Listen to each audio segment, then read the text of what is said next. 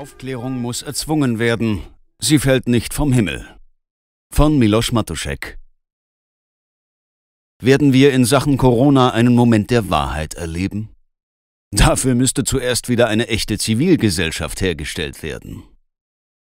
Wer die Argumentationspirouetten der letzten Wochen und Monate noch im Kopf hat, die vielen Zusicherungen, die enttäuscht wurden, die falschen Versprechen von Freedom Day und Pandemieende, dem fällt es naturgemäß schwer daran zu glauben, dass es jemals so etwas wie eine Aufarbeitung der Corona-Pandemie geben wird. Denn was sollen die Pandemietreiber aus Politik, Medien und der Wissenschaft jetzt auch machen?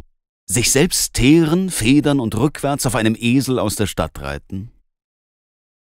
Keine Aufklärung in Sicht.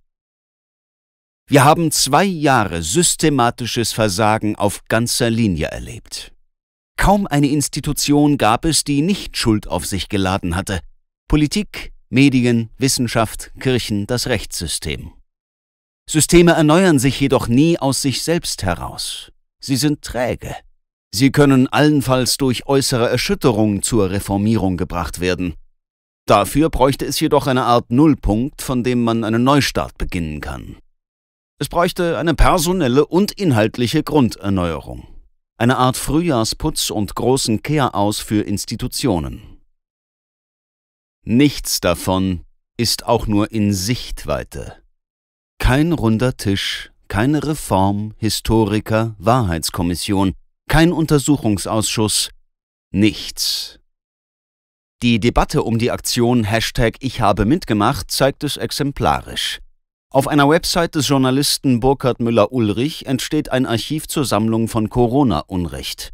Dazu gehören menschenfeindliche und ausgrenzende Kommentare von Politikern, Journalisten, Ärztefunktionären, Wissenschaftlern und Prominenten an die Adresse von Kritikern, Zweiflern und vor allem ungeimpften. Die Aktion schlug ordentlich ein. Der Hashtag Ich habe mitgemacht trendete in den letzten Tagen stark in sozialen Medien. Und wie immer gilt, Getroffene Hunde bellen. Sie winseln sogar. Hassrede sei das und ein Pranger obendrein. Diejenigen, die groß austeilen konnten, können natürlich jetzt nicht einstecken. Doch wieso soll eine Sammlung mit Zitaten auf einer Homepage überhaupt ein Pranger sein?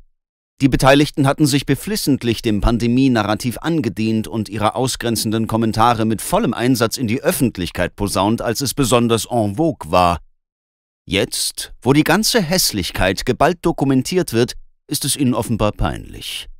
Doch statt zu ihrem öffentlichen Mobbing von ungeimpften zu stehen, flüchtet man sich in die Opferrolle. Offenbar scheint selbst die Berichterstattung über diese Aktion ein Tabu zu berühren. Die Welt hat einen Artikel über die Aktion wenige Stunden nach Veröffentlichung schon wieder gelöscht. Alles spiegelverkehrt. Manche meinen, wir leben in komplexen, unübersichtlichen Zeiten. Für das Corona-Panikorchester gilt das nicht. Deren Strategie ist von einer so banalen Schlichtheit, dass man sich gar nicht mehr an Klarheit wünschen kann. Es genügt, die Aussagen einfach umzudrehen. Das Gegenteil des Gesagten liegt verlässlich näher als die Wahrheit, so hat Karl Lauterbach letztens in einer Sendung von Radio 1 versucht, den weltweit renommierten Evidenzforscher und langjährigen Stanford-Professor John P. A. Ioannidis in den Dreck zu ziehen, indem er ein System der Desinformation skizzierte, in welchem Wissenschaftler, die oftmals auch nur kurz an einer Elite-Uni waren, über soziale Netzwerke für ihre Thesen Aufmerksamkeit bekommen. Nichts anderes macht übrigens Karl Lauterbach seit zwei Jahren, der sich nach einem kurzen Harvard-Aufenthalt und einem Master in Gesundheitsmanagement nun Epidemiologe nennt und auf Twitter jede noch so kleine Studie, die ihm in den Kram passt, aufbauscht. Auf Talkshow-Redaktionen wirkt derart fachfremdes Geraune eines wissenschaftlichen Nobodies aus irgendwelchen Gründen elektrisierend. Eine weitere Argumentationspirouette ist die hypothetische Kausalität, die im Grunde nichts als Voodoo-Logik ist, ein Taschenspielertrick der peinlichsten Sorte. Dabei vergleicht man einfach Äpfel und Birnen, also das, was passiert ist, und das, was hypothetisch hätte passieren können, und leitet daraus allwissend einen Nutzen von Impfung, Booster etc. oder eben das ab, was man propagieren will. Wissenschaftlich ist daran gar nichts, es ist reine Spekulation. Denn ein Vergleich zwischen einem echten und hypothetischen Ereignis ist wissenschaftlich gar nicht möglich, da es für das hypothetische Ereignis an einer Datenbasis fehlt. Trotzdem reden sich mehrfach Geimpfte, die sich trotzdem mit Corona angesteckt haben, nun massenweise ihren milden Verlauf schön, den Millionen Ungeimpfte schon vor 1,5 Jahren hatten, als es noch gar keine Impfung gab. Man kennt so ein Verhalten von Sektenangehörigen, die den Platzhalter der Fakten immer mit neuem Wunschdenken füllen, damit ihr Vorstellungsgebäude intakt bleibt. Nein, die Aufarbeitung wird noch einige Zeit dauern und wie immer erst dann kommen, wenn es gar nicht anders geht.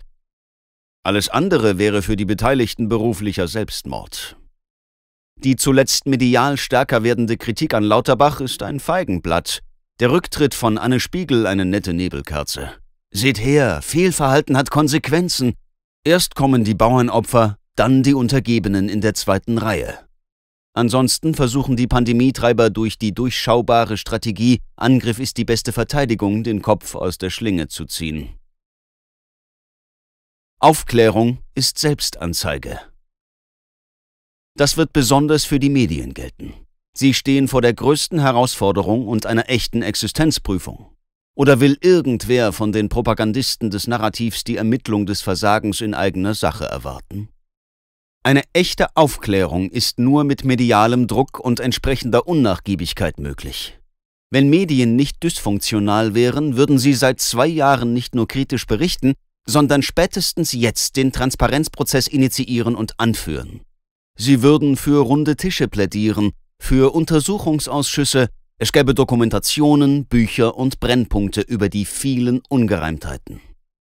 Doch Aufklärung schadet hier der Reputation, denn mit jeder Aufdeckung würden die Medien selbst Anklage betreiben, weil jeder Leser oder Zuschauer sich zu Recht fragen würde, wieso kommt ihr damit erst jetzt?